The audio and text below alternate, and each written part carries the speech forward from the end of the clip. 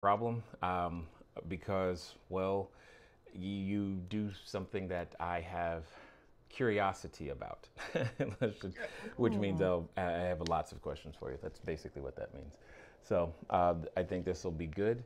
Um, you're not going to hear any of the post production stuff. So we like there's no breaks. You where the goal is for us to just talk straight through. It should sound like a normal conversation, that which would happen at a coffee shop, uh, etc. So uh, the things that happen during a normal conversation, interruptions, laughter, etc. We tend to leave all of that stuff in. So um, if for some reason though in the, the recording there's something that you know if we need to stop and restart uh, what that simply means is that i need you to snap into the microphone three times wait three seconds and then pick right up where you left off but i have a feeling you guys know all about that already Yes, we're uh yes. yep uh, super clear instructions. Thank you. what's that Those are super clear instructions. Awesome. That's how we roll too, Jay. It's kind of funny. We're like, that's that's that's just the way Jack is. We don't stop. You know, there, it's one take on everything. For the most part, yes, that is pretty much how we roll. Um, unless something magically like weird begins to happen, like I've, I've had Skype disconnect before in the middle, and that's that's always fun. So, uh, but we try to not uh, annoy our editor too much with um, stuff that that can be prevented or done in, in some way, shape, or form, because um, I want them to continue to like me. Yeah, that's it. Because I definitely don't want to end up doing what they do, because it's just too much work. Anyway. Um, so the typical format, we're going to start out talking about you guys, how you got into what you do, then ultimately what you do. And I can say unequivocally that the, the information that I was sent ahead of time, the, the questions and whatnot, I tend to ignore those uh, because I, I'd rather hear your response to my questions and go from there. Does that make sense? Perfect. yes. Excellent. Uh, now, is there anything in uh, in particular that you wanted to make sure that we did talk about today? And if so, what was that? No, I don't think so. I think uh, I love your format, and I think we'll. I think it'll be fun. That's how we roll. When we interview people, we just kind of let it free flow. We don't have any formal questions that we always touch on, and it's always more fun, I think. Got it. Uh, yeah, perfect, perfect. So there are there are two questions that are pretty much the same, um, and there actually I think I'm going to insert a third because I- I believe you guys would be able to answer this. So let me. So the first uh, the first question and the last question are pretty much the same for everyone, and they're the jumping off point to help give some context to who you are, etc. Um, I'm not going to tell you what those are because it's always an extemporaneous answer that I'm after. So now, but uh, there is. So I've been selecting certain guests uh, to ask this particular question, and I just need to know if this is something you would feel comfortable asking or answering. Uh, and again, no is a completely acceptable answer. I'm, I'm just looking for more people.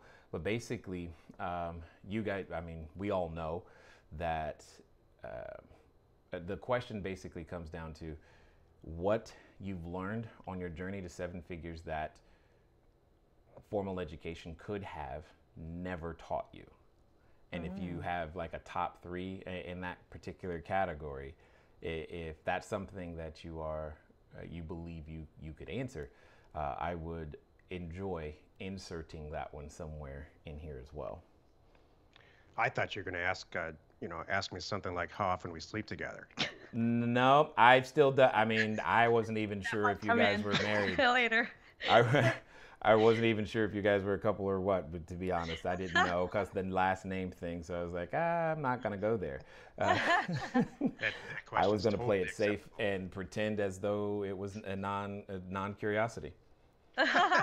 But now that you bring But it yes, up, so with- tell with me. that No, never mind. Um, good. But is that something that you think you guys could handle? Yes. Yeah, I figured. Um, now, speaking of which, the I don't know if I call you Steven or Jack or what. Steven would be great. Thank you, Steven. And then, hold on.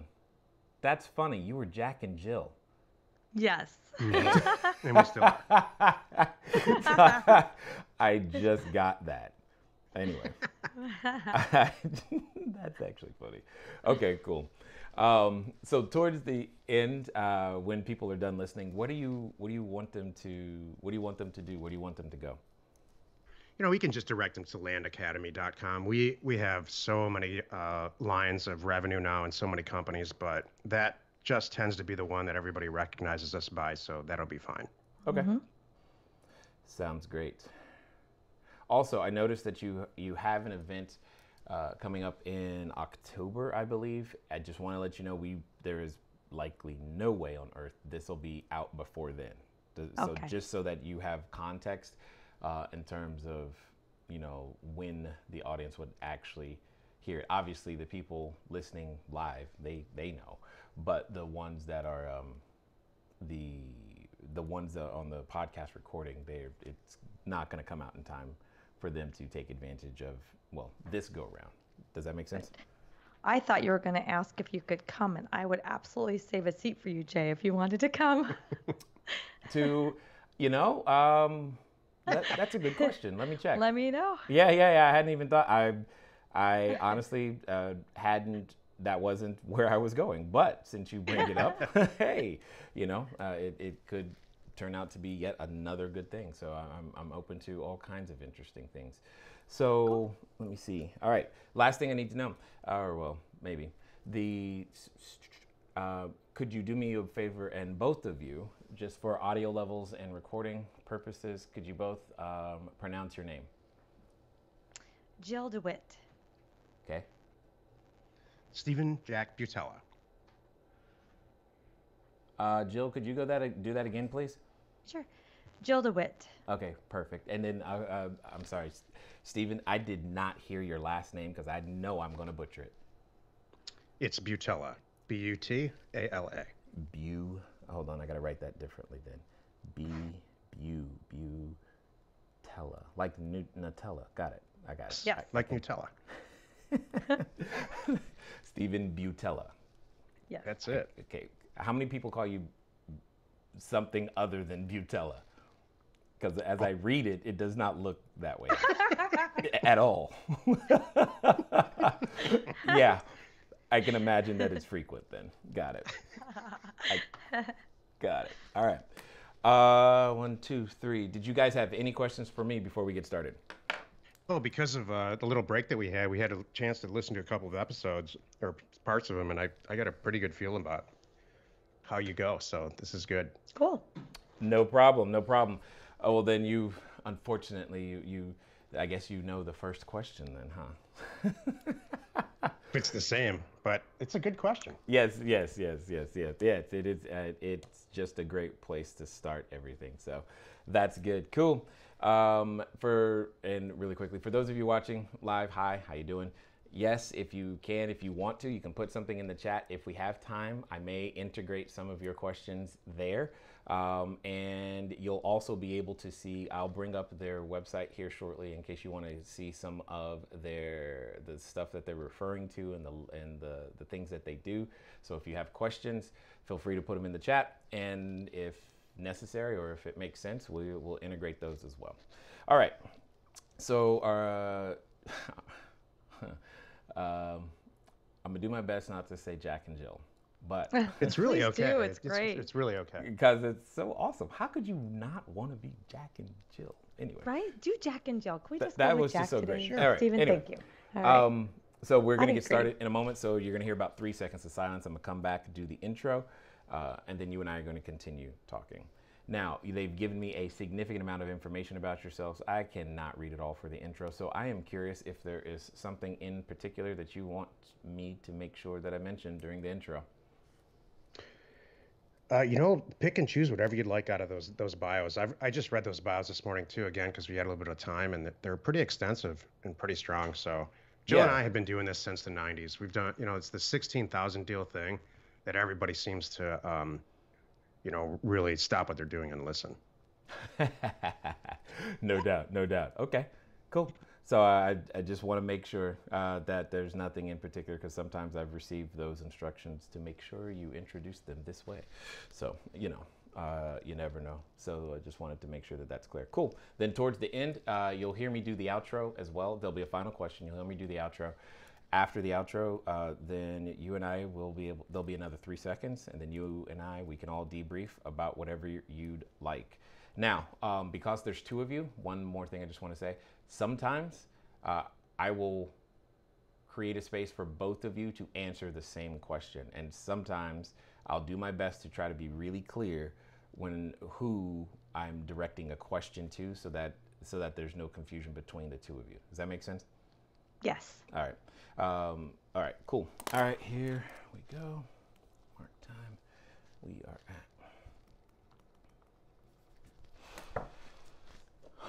at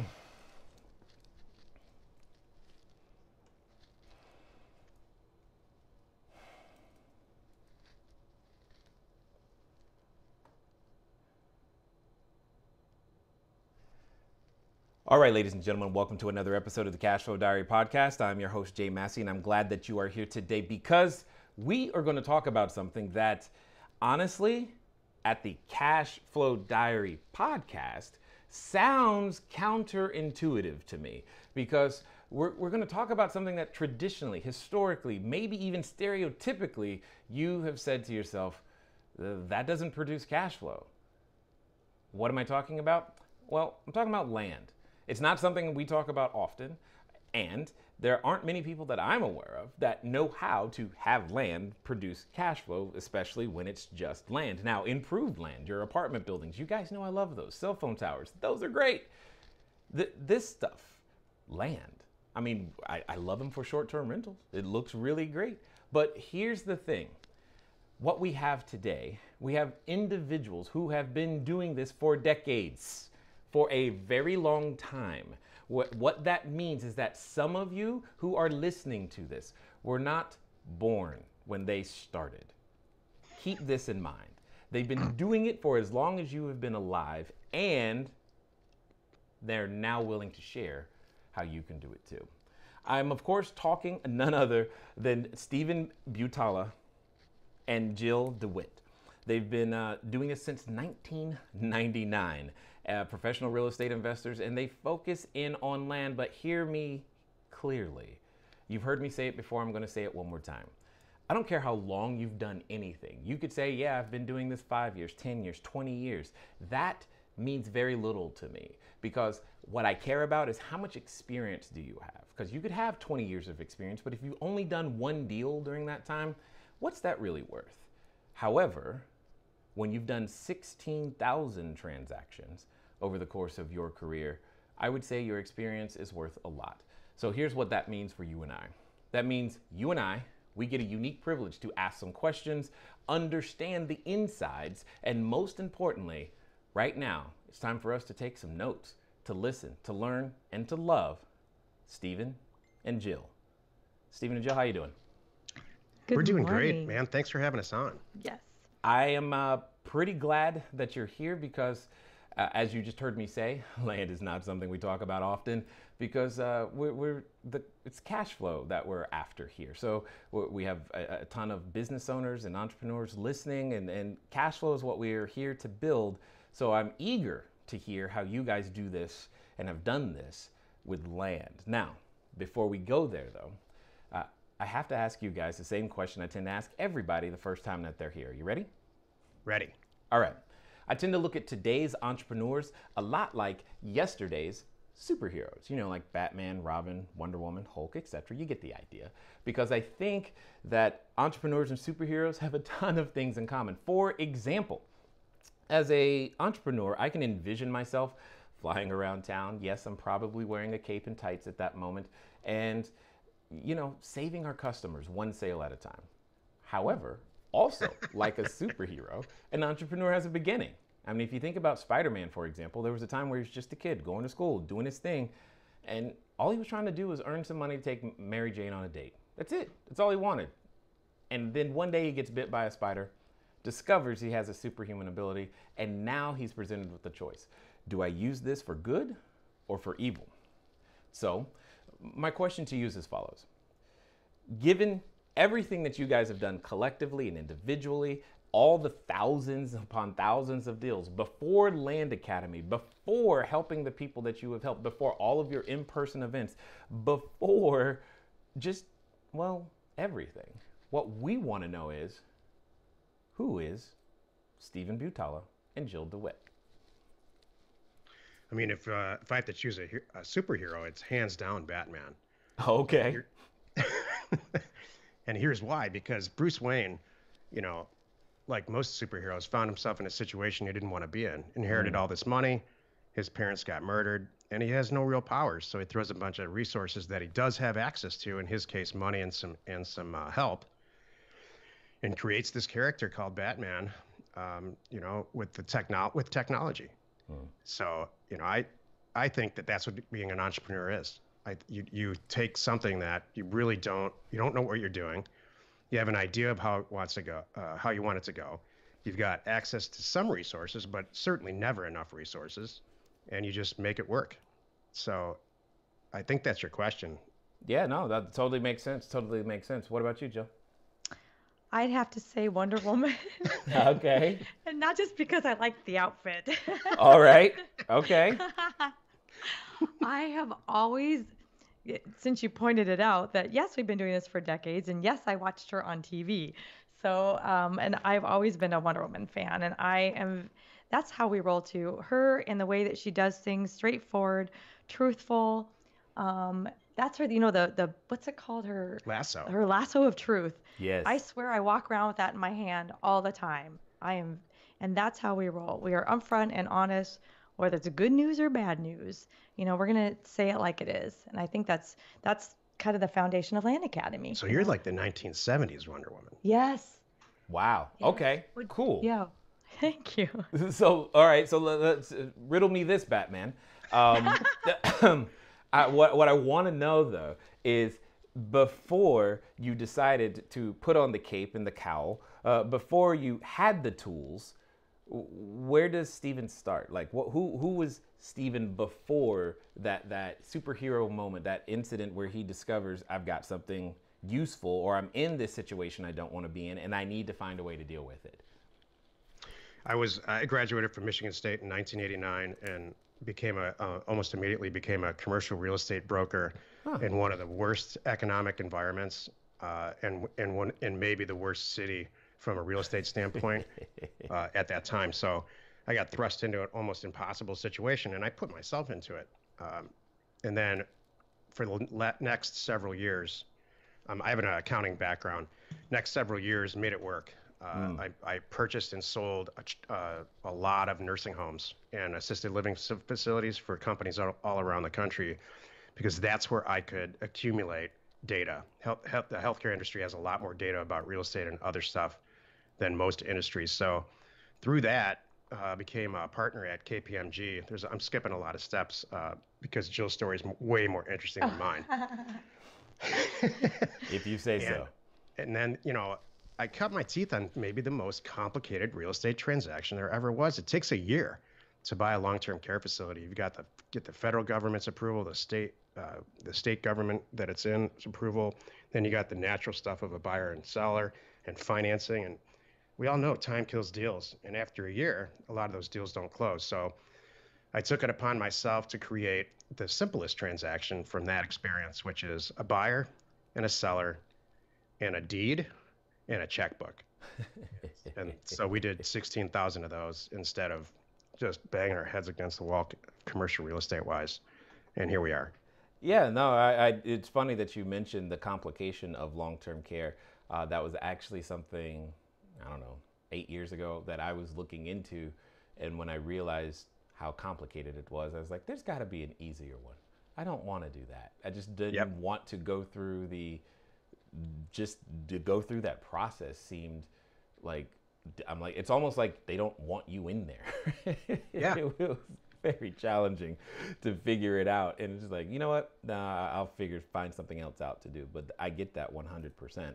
Um, and then simplifying your life also makes sense. So, uh, Jill, no pressure, but he he said that your story's more interesting. Oh. well, I grew up uh, next to Disneyland, literally. Okay. we just, that's how I knew it was nine o'clock at night Oh, when you heard the fireworks go off. right. so that was I had a, a, a pretty awesome childhood, I should say. I I've always maintained I want to be by the beach, and we're right back here by the beach.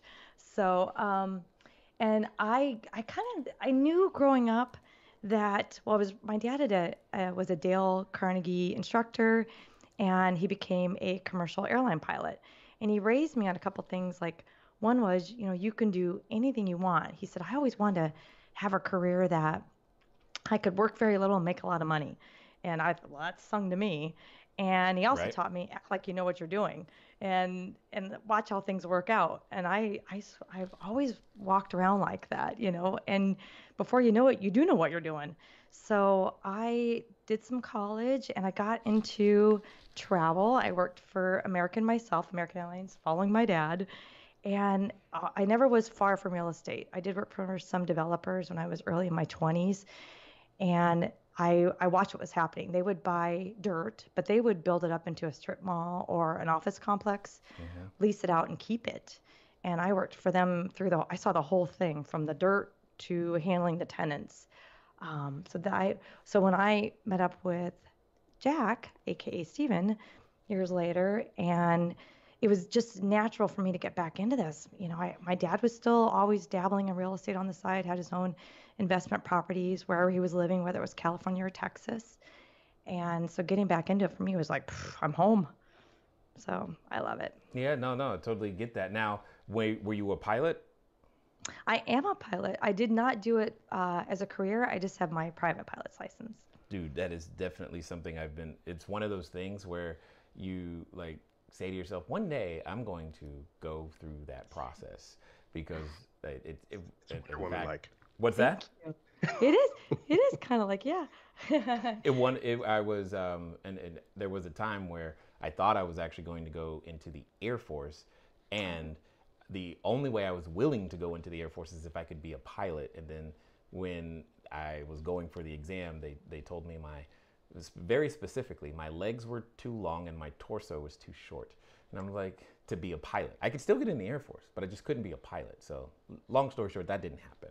But Right. I still want to learn to fly because that sounds like fun. To it still sounds like fun to me. Now, I'm curious to to hear a couple of things. In every superhero story, in every moment, every entrepreneur, they go through this process whereby they're bumbling along in, in life in some way, shape, or form. They're, they appear to be like everybody else until there's an intervening event that typically calls them out, uh, helps them recognize you, if you will, their unique ability. I, I'm curious to hear about what that unique ability you believe that, that exists for you, and more importantly, how did you discover it? Oh, the uh, I, I think we have separate unique abilities. I'll go 1st I would hope so. I mean, if you're working together and you have the same one, both of you turning invisible would not be good. My I have uh, two unique abilities. Number one is uh, I think that I have a knowing now after ha- having a, a group. We've created a Land Academy group full of members uh, who have a lot of different types of unique abilities. I understand now about myself through that process that ability to analyze data, uh, real estate data specifically, and and turn it into a successful offer blind offer campaign is pretty unusual Got it? so there's that and i just for for whatever reason I, and i was born with this i just when we start a project i just won't stop i'll be half dead before I, we just won't stop until it's done Got it. You got the follow through bug. I love it. I think mine is um, I have the ability to connect with people of all backgrounds. And my, over time, I just I just uh, started to realize, you know, one job after another, I come in the morning, there's six people sitting on my desk waiting to talk to me and tell me about their day or their weekend. And it was funny because at one time it was all like dating related, and they all wanted to ask my advice about dating, and they were all in different situations and different relationships and things Right. like that. So, and then going to further into career wise, you know, I've never had trouble speaking to someone, regardless. Like, same thing though, their background, their their education, their financial situation. I've I can I I'm able to, you know, kind of put myself in their shoes, mm-hmm. and it really helps me now because, gosh, I I talk to sellers and make them feel good when I'm buying property for very little money, or I can talk to big developers and hammer out really large deals just as easily. Yeah, and, and, I think you're you're hitting on something that's important for anyone considering real estate or business in general to be able to understand. I'm uh, oftentimes, in fact, when when I've interviewed or been looking for an executive assistant, uh, one of the questions I'll ask them, I was like, "Are you? Can you talk to someone who you may have seen on television uh, or, or play a sport?" Um, and and in that same day, same conversation, also talk to your firefighter uh, or teacher or you know sanitation engineer, whatever, uh, and treat them both the same. Do you have that well, I ability? Just, I just failed at that interview. You did? Because I can't do that. it's funny, but I used to look at my friends and I wonder, you know, you're right, Jay. I used to wonder, like, what's wrong? Why, why are they intimidated? I used to think there was something wrong with me because I would barrel into a room and I'm not intimidated about anything. I don't care who's sitting at the other end of the table, and it's never changed. Yeah, yeah, my exactly. Probably I, hated a, that, but. well, well, well, I had a mentor. Uh, on a, on, oddly enough, his name was Steve so, and he would say, you know, it's like everybody, they have hopes like you do, they have dreams like you do, they have pain like you do, they're, they're human. And that helped me to humanize anything that I might have, uh, uh, uh, you know, accredited someone with that would cause that hesitation. And it's just something that absolutely is necessary. So now, here's the thing that I, I now I have to ask. As you're going through this journey, uh, at least for most of us, we're told at the beginning to go to school, get good grades, get a job. Uh, is that a message that you managed to receive too? Oh man, I think it's really smart to go to to get some type of formal education. Uh, I don't think that the traditional four-year degree that we all kind of grew up on is necessary uh, as much any longer, but I do think it's important to spend at least two years in a workforce, and I don't mean that really at Starbucks. I mean in a professional capacity, to to realize whether or not you want to make that your career or if you want to go off on your own. For mm. us, it was accounting. We were we were expected to, and I don't think this is the case anymore, to go work for a public accounting firm for two to four years, mm. uh, regardless of how painful it was. And believe me, it was painful. and then decide if you're going to go on the partner track or if you're going to go uh, buy a company or start a company.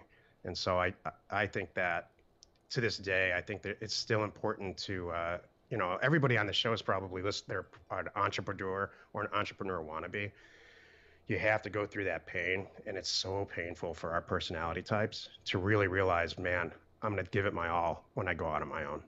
Absolutely. Now, Jill, I, I, have a special question, or that same question, but for, for a special reason. I am a father of three daughters. Oh. Okay. And, and one son, so I don't want to forget him too. But okay. specifically, my, my daughters, one of the things that uh, I care about is making sure that, uh, you know, when they leave the house, is that they have a skill set such that they, they are not dependent, uh, they don't believe themselves to be dependent on a man to be able to earn an income. And I'm just curious to hear if any of that was anything like that as a part of your decisions behind, you know, your, your desire to be, you know, independent and, and, and separate or, but how that message of go to school, get good grades and get a good job landed for you you know, it just I was raised that way that you're raising your your girls, and I love that. It was never, you know, we just want to get her to that point, get her married off. You know, it was what are you gonna do with your life? And and you know, my dad kind of raised me like my brother. You know, um, what are you guys gonna do? Think big, mm-hmm. go big, and mm-hmm. I'm right here. I won't let you fall that that far, kind of thing. I'm gonna let you fall, but not that far. Right. But it really did encourage us to, um, you know, just go for big stuff, which I really love because I think that's part of why my brother and I both um, went went big, man. So that's that kind of how we say it here: is go big or go home. It's like exactly. why? it's yeah. like why brother, are you going to bother? Not to say anything, but he actually went to be the state treasurer of Arizona, and now he's the CFO for NASA. So that's it's, so we're kind of trying to one up each other all the time. It's awesome. well, I think the argument can be easily settled by who has more free time? Oh, I totally agree with you, and I think I won. Yeah, oh, I'm, I, that, that's exactly where I was headed. I was pretty sure that that, that, that was the case. That's why I said it, because Yep. there's a certain quality of life that I, I, I would imagine that you have that he is still hoping to obtain. Now, Exactly. I love him dearly, but um, I don't have a boss like he does, and it's this is nice. right. So, with this as the context, then, let me ask you both this question.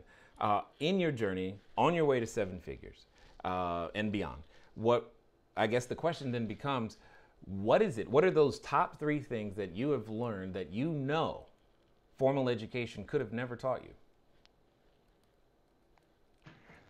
I don't know, Jill. Um, formal education could have does not prepare you in any way, in my opinion, for the politics of an office, for Oh, sure. Preach. and and just I don't know why it's just never addressed.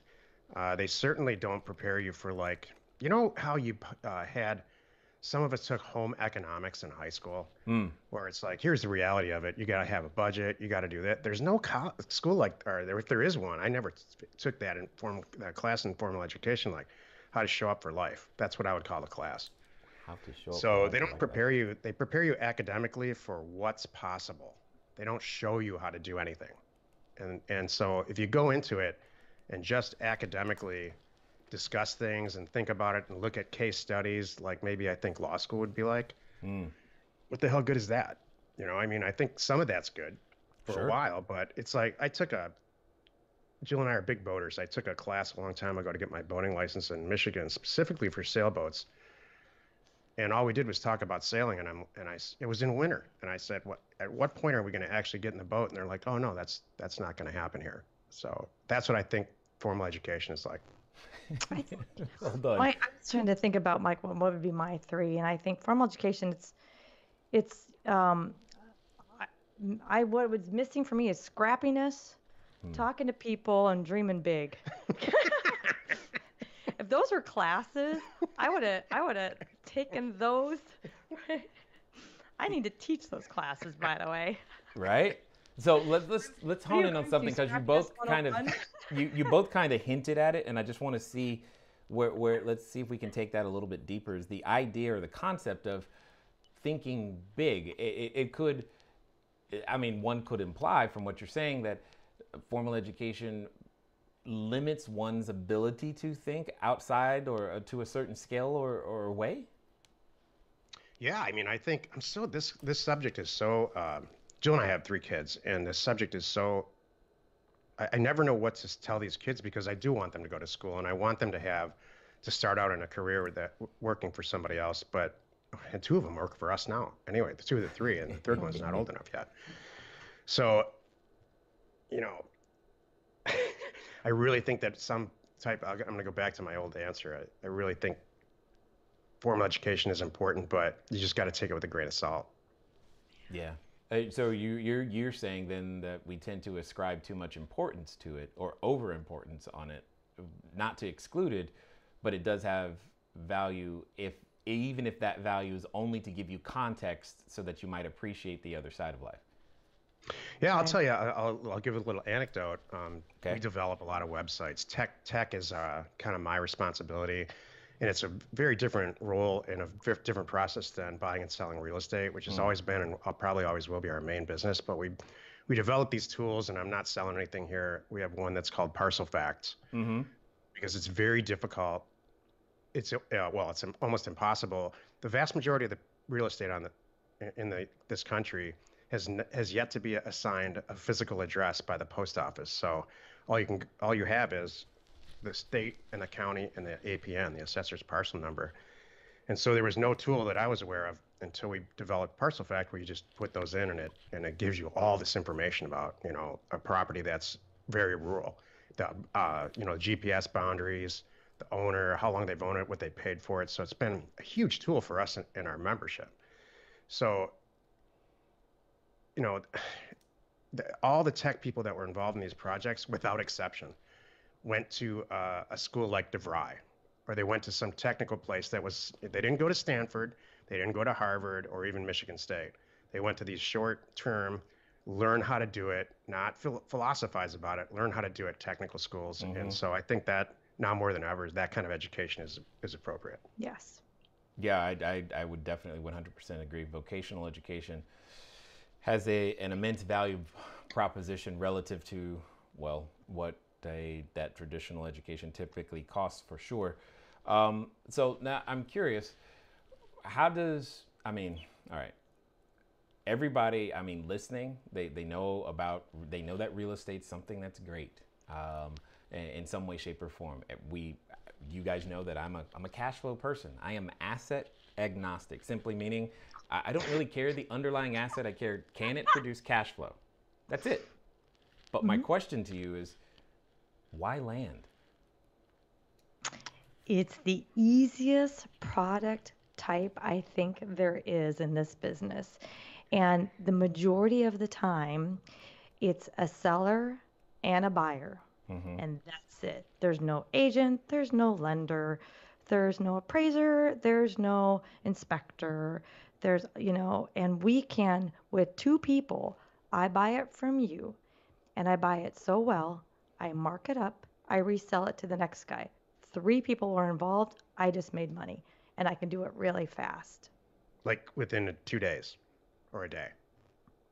Okay, we have questions now. Oh, or I can, I can, you know, I can walk you through the anatomy of a deal really quickly, and well, well, help. it, before we get to that, I there's something that she said that I, I want to challenge, because you said land is the easiest, and okay, so and and maybe it's because I the the majority of the time that I've looked at land deals or have considered them, I've been uh, in in the world of California or international. So maybe that maybe those are the two things that are at play here that have my perspective on land being way more challenging than what you are currently uh, saying.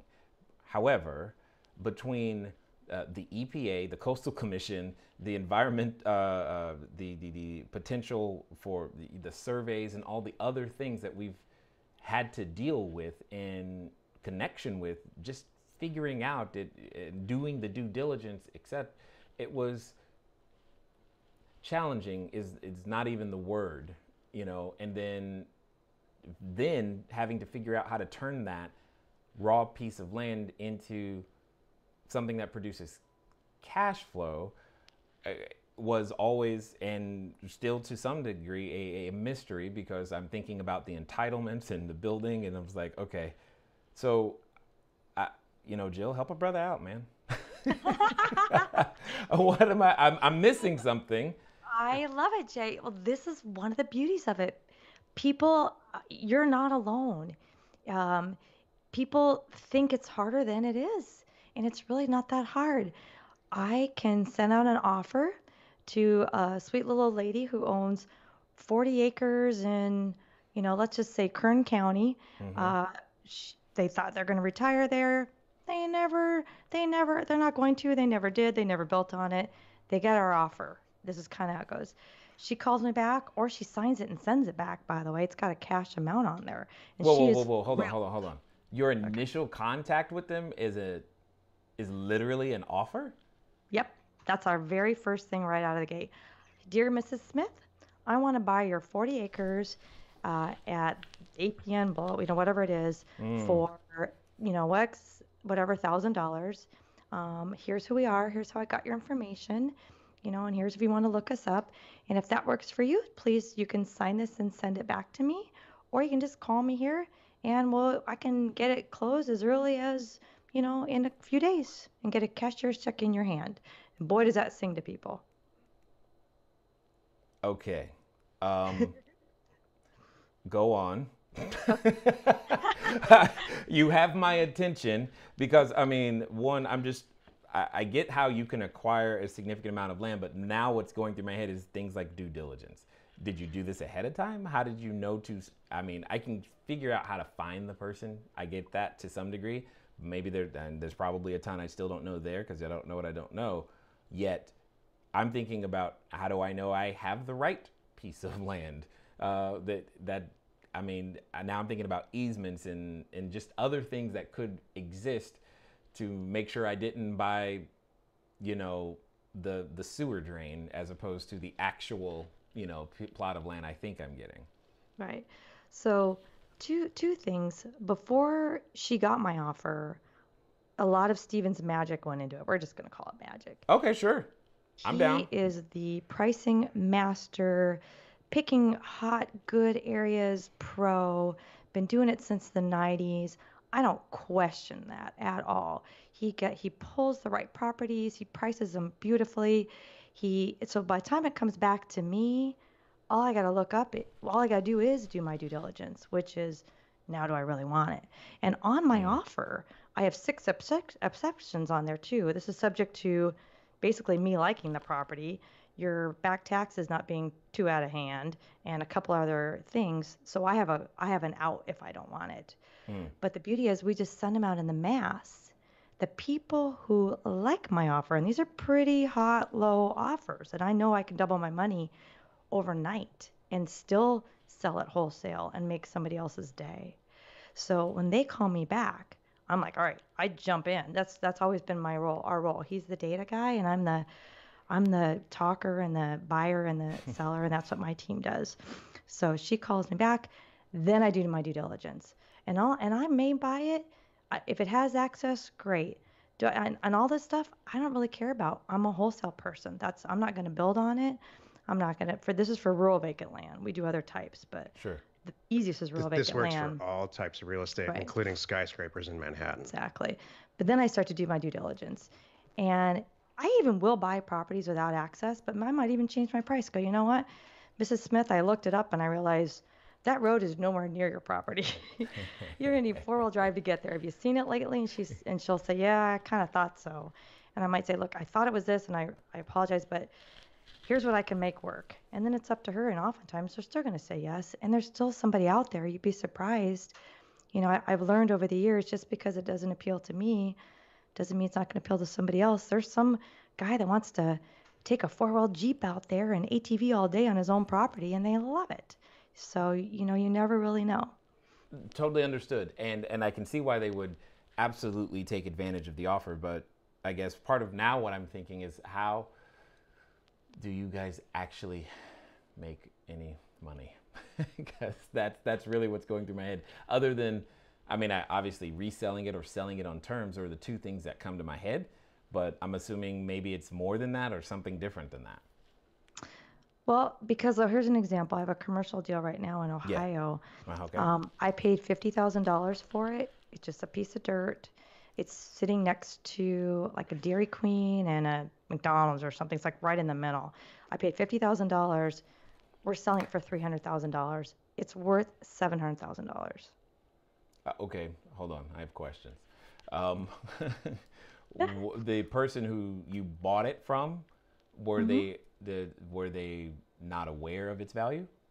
They were, They were whole- completely totally aware. They had it on the market They're for just- $700,000 and it wasn't moving. They just weren't interested in owning the property anymore. Got They it. were done. Our whole business model is predicated on on this concept, and I think a lot of very seasoned and successful real estate people uh, miss this concept throughout their whole careers.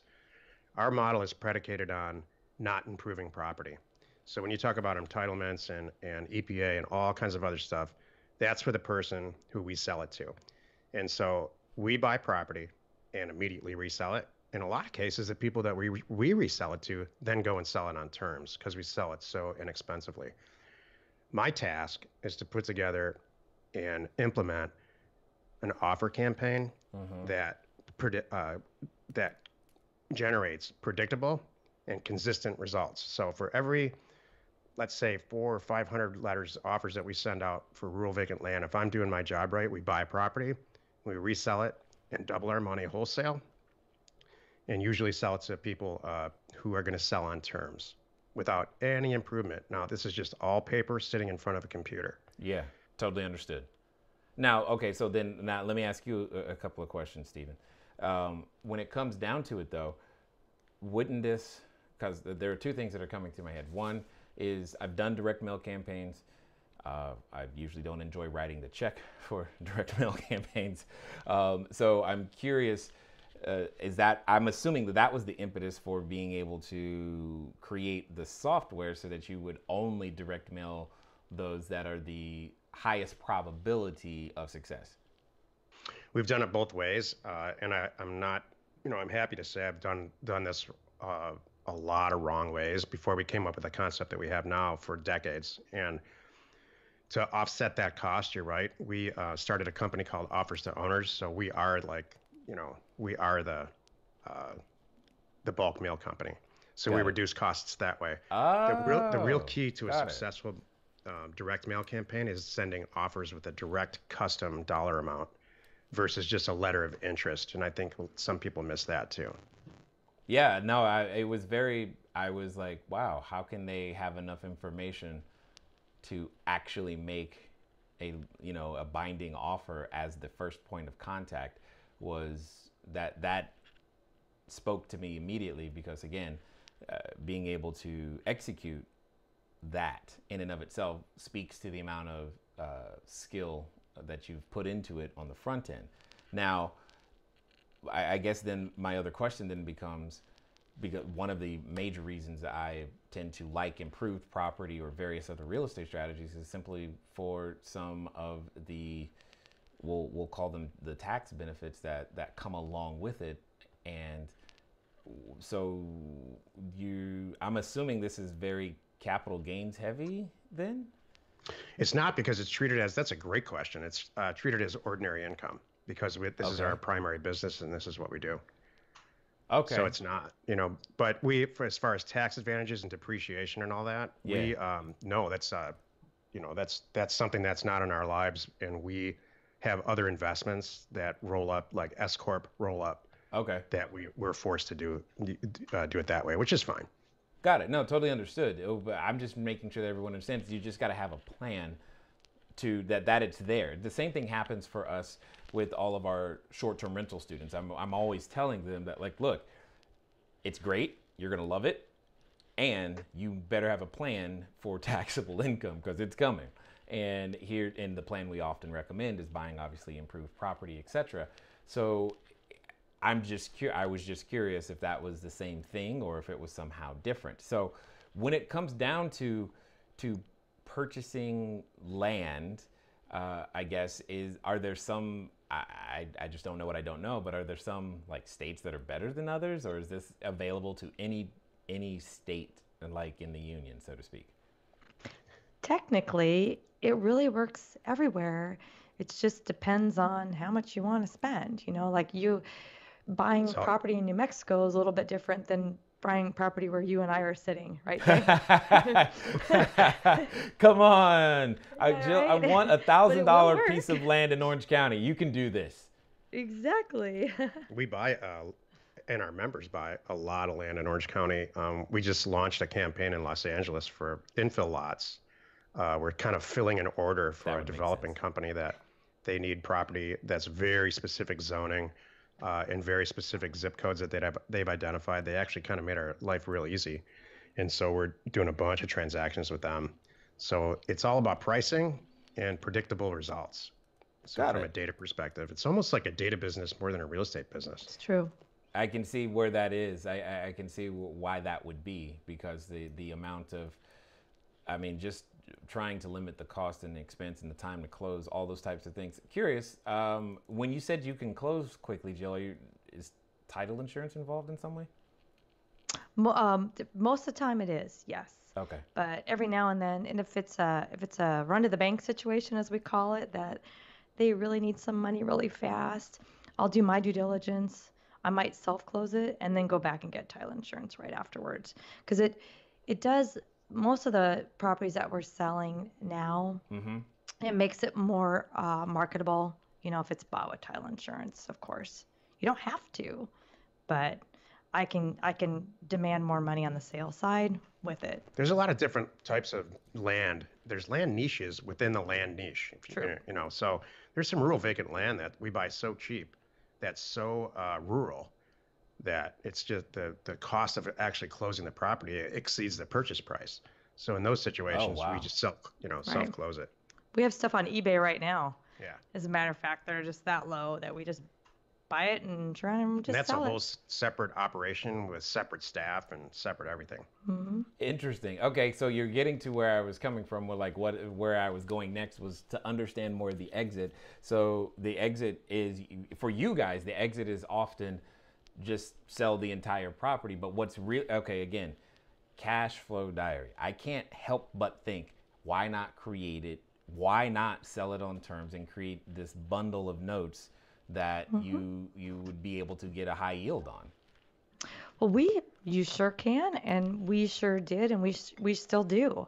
So usually it's it's the the really good properties that we might want to hang on to for a while, mm. because what ends up happening Okay. is they we don't usually sell the notes. We usually just keep the property anyway.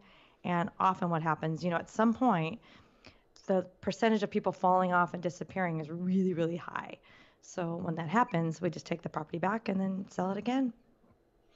yeah. There's a huge, huge opportunity for land leasing too. We did, I did a deal um, before Jill was in the picture where I bought a piece of urban property really inexpensively and then leased it to a, a RV storage company right next door for a pretty good price, and uh, you know eventually sold it to him. There's also in a rural vac- vacant land scenario, I bought a very large ranch adjacent to an existing functioning ranch and just leased the land to them. So there's a lot of ways to cash flow from land. In fact, our original program is called that cash flow from land. Okay, so now I'm going to ask a very selfish question for myself. Here we go. Let's pretend, hypothetically, but not so hypothetically. I, I, I, because again, when I'm I'm running a, a, a short-term rental model, it's what we do, and I also know running, say, an RV park would be very profitable and is basically land plus sewer, and you know that that, that that's like what I what I think about. If I wanted to acquire a five acre parcel of land in the state of California and or Utah or Nevada, you're telling me I could be that specific and e- even including the use case and you would be able to help me find something? Well, I uh, I'm being real honest here. I wouldn't be able to help you find something, but I could show you how to do it. and it and I can almost I can just about guarantee uh, I can do everything short of guaranteeing that whatever you do find, you're going to be buying it for half of what it's worth the next day. Could I'm, I'm going to add to that. So what we what we do, Jay, though, is could I get in and I only want this size mm-hmm. in this area, and I want it zoned this way, so I know it could be used how I use it, and only send offers to that group. Heck yeah. And then a very predictable number are going to send either call you back or sign them and send it back. Then that's when the work due diligence work starts for us. Everybody does this backwards. Everybody goes out and looks at a piece of property and say and says, "I have does this round peg property fit in my square hole and what do I have to do to change it to get it to that point?" And they spend a lot of time and energy and usually it, you know it doesn't happen. We do it the other way. We send all this stuff out we, we and then what comes back is very predictable. We analyze it according to the round peg and put the round peg in a round hole, if that makes sense. And we, it, it, that that concept it, it puts us in the driver's seat because I can send out 10,000 offers, or I can send out 10 million, and the process is just about the same and takes just about the same amount of time the way that we price it with very predictable results. Yeah, no, I, I like this. This, I mean, there are many. I can see this being something a a person uh, just graduating high school would be able to do, as opposed to necessarily even going to college. Because I'm assuming some of like, what's an average entry point on yet the you said the rural land stuff? Like, what what's what what would you say that that looks like in terms of? Uh, we'll go with a price per acre, since obviously the plot size could be different. Well, I'll tell you, I mean, you're exactly right. We have several people um, in our community that are fresh out of school, fresh out of the military, stuff like that, and they've been following us for a while and they've saved up some money. I used to tell them, you could really do this. I'd like to have $10,000 to invest. If you could, because if you could come up with $10,000 to invest, hmm. what I would tell you to do, and I would show you to do, is how to go out and and get 10 $1,000 properties that you could sell tomorrow for 2000 because they're worth 5. So you do that real quick. Now you got $20,000. Okay, now do it again. Now you got 40. You see where I'm going? And, you know, and then at $150,000, you might start making some different decisions. Do I want to keep this up? Do I want to go? Do I want to add a zero on my properties?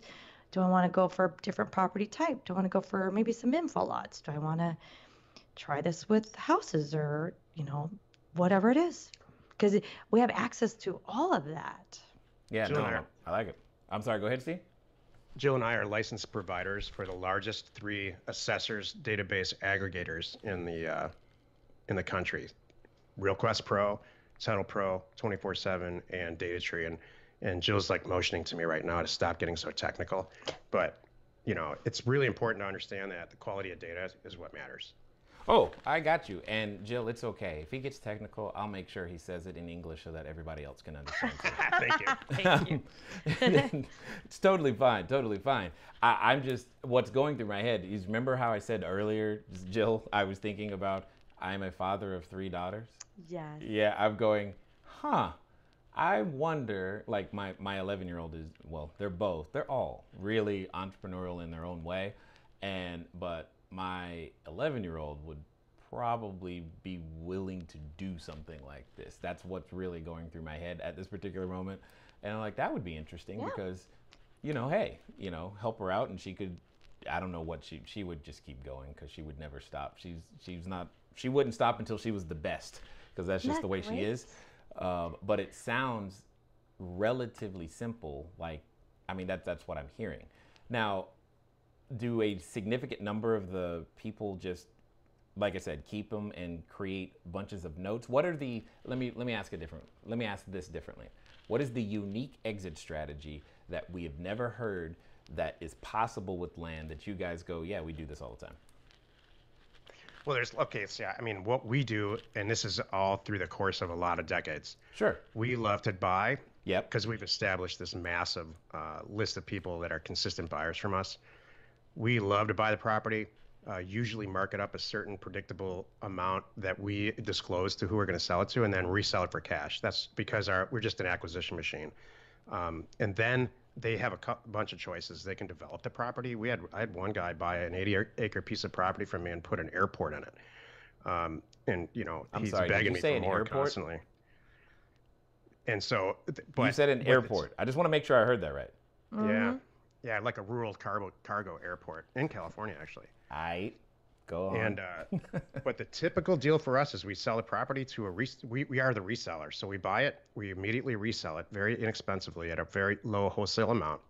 Uh, we have consistent customers that then get it, own it, resell it on terms, let the note season, and sell the note after six or eight months at a discount rate, which you know, all your uh, listeners yeah. are familiar with. And, well, what's funny is that that's exactly what I was thinking.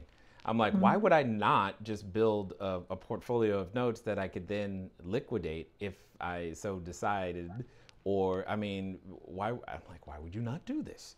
And that, like, this is crazy. Um, but, and I think one of the things I, I- I think I'm going to hit on something right here. So, in in all cases, though, you pretty much have to buy, or I'm sorry, not buy, but build your own buyers list. I would assume in some way, shape, or form. Yeah, and we and that's uh, integral part of our education and how you use social media. And what's great about this this this product type is that it's very um, it's very unique. So just organically, you can spread the word pretty quickly. And and if people are interested, what I've noticed over the years about land people is that that career kind of chooses them. They don't career they don't choose it for themselves, and it just sinks to them. Like a lot of people are just like, "What are you talking about? Land? Forget it. I want to buy a house. I want to flip houses." So, but the people that understand land, they just seem to find you. What about any sort of resource rights? Are that is that ever included? Is that like part of the deal? You mean like when you were talking like mineral rights? Yeah, land, water, um, know, access, those types of things. We usually we just we usually roll along that we're just doing surface rights and if someone acquires some in the process hey good for them i'm i'm not out seeking out that in particular Mineral rights are real hard to trace. Uh, they only get conveyed via the deed, so you really need to look back through the chain of title. It's a lot of paper intense uh, work to see who owns mineral rights. So we, Jill and I, um, decided a long time ago that regardless of who owns the mineral rights, by the time it gets to us, we are selling the, the property, assuming that it doesn't have any. Right. Got it. Okay. Well, then let me ask another one because this one be of also personal interest. Um, what about the ones where they have a say a cell phone tower uh, already on the piece of land? Great. Yeah, I love those types of now it's improved. and billboards. we have a lot of we have uh, I'll call them clients that love billboard right along the freeway property. You know, it cracks me up because I'm like, there's no chance that the uh, governing agencies are going to allow a billboard to go in this on this property, but they just love to buy it from us and collect it. Like, you know, I've heard people use this phrase on the internet recently. It's like man jewelry. They just they love to collect it for some reason. Well, if it already okay, so if it already has the cell phone tower on it, wouldn't they then inherit the lease, or is it? Yeah, exactly. now that- you're you're already buying some cash flowing. on That's there. exact. Uh, okay, so let's be really clear. That's ex- that would be my 100% focus is the land with cell phone towers on them because having owned them, I really, really, really want to sell that lease to somebody. Yeah. I mean, that's the definition of passive income right there. Yeah, yeah, yeah, yeah, absolutely. So, okay, I got it. This is interesting. I like what you guys are, are up to. Now, for those that have listened this far and have probably just as intrigued as I am, um, what's going to be the best way for them to, to track you guys down, find out more about what you're doing? Check us out at landacademy.com. You'll find everything there. It's crazy. I love it. I, I, the, the thing that I like about um, being an entrepreneur is that we get to create and find a way out of what is seemingly no way and and and do something with it and then you you guys are actually out there sharing it uh, with others now as we wind down i've got a final question for you because i'm curious to hear i'm curious to hear your answer on this one um, the, there are a number of people who have been listening, uh, et cetera, today, and they started in one particular place, and now they're at another. You know, they've listened this entire time. Maybe they've been intrigued in various different forms, and they're at what I like to call that precipice of decision. You know, the, and when that happens, you're human. You know, you've been there. When we mm-hmm. when we get to that part, what happens is that oftentimes we have a companion, and that companion comes in the form of a voice, and it's a voice that reminds us of why it won't work, how it didn't work last time, and mm-hmm. you, you're gonna really do what? I mean, you just heard some people on a podcast. Who are they really? I mean, they don't really do this. Sixteen thousand, no. And and and, and even if that's true, it's not gonna work for you. I mean, and for some people, they're related to that voice. So my question to you is as follows. Let's pretend that this time it's going to be different. This time they're actually going to follow through. They're going to do exactly what you suggest. And they're going to do so in the next 24 to 48 hours. what would you suggest that they do? This is right up Jill's. This is Yeah. Jill's. Jill loves this stuff. They would, they, they would scrape together what they have. Um, seriously, if they want to do this, uh, we just had a, we just talked to a guy on a member call last Thursday. He joined our program. Six days in, his mailer is going out. He is not stopping. That guy will kill it. Yeah, he's gonna be. He uh, and he did exactly what we said. Everybody, you get into this, and you, we all have our own, like you said, the voice. Oh, that that can't be right. That can't be this. I'm gonna eh, put your head down. Listen to everybody. We have hundreds of people that were right in your shoes, right ahead of you, and they're gonna tell you the same thing. Trust it. Do what Steven and Jill say. Follow the steps. Watch what happens. I- and then they're gonna do that and come up and go, "Holy cow, this works! I need to go buy some more." I mean, I would answer it th- this way. I would. We have a, our own podcast. I would spend the next 48 hours listening to that. Okay. But we have, I mean, 1,200 episodes, I think, uh, since 2015, and then we have a free website called LandInvestors.com, which is essentially like a Facebook but for what we do. And all of our members are in there. It's it's totally free. Some of the advanced members, our advanced members are in there. There are regular members, and then there's there's a huge free community in there. I would go in there and ask really tough questions like, "Are these guys for real? Is this a bunch of malarkey? You know, what's the catch? It can't be this easy." And then a lot of people will pipe in and say, and, and really, really tell you the truth because, and shows like this, it, we are it, we are talking about the highlights and telling great stories, but there's a lot of hard work involved in this and a huge uh, commitment, a mental commitment, which I think you referred to earlier. Yeah, no doubt, no doubt. You you do realize that the the one challenge with what you just said, Steven, is that most people don't use the word malarkey anymore. Thank you. Thank you, Jay. Facebook for using Thank you, that. Jay. That's there are a few of those. Facebook shut me down for like 30 days for using that word. Yeah, I'm just, I'm just trying to tell you, it, it's all good though. It's all good. I understood what you meant, and, and that's great. Now, uh, I, I just, I, like I said earlier, I, I just want to say thanks. Uh, you know, because, like I said, superheroes have to make a choice. They they choose to share their special gift. They because you, you don't have to, but you've chosen to, and because you've chosen to, there are thousands of people across the globe who are, are now experiencing a completely different life, and I appreciate that uh, 100%.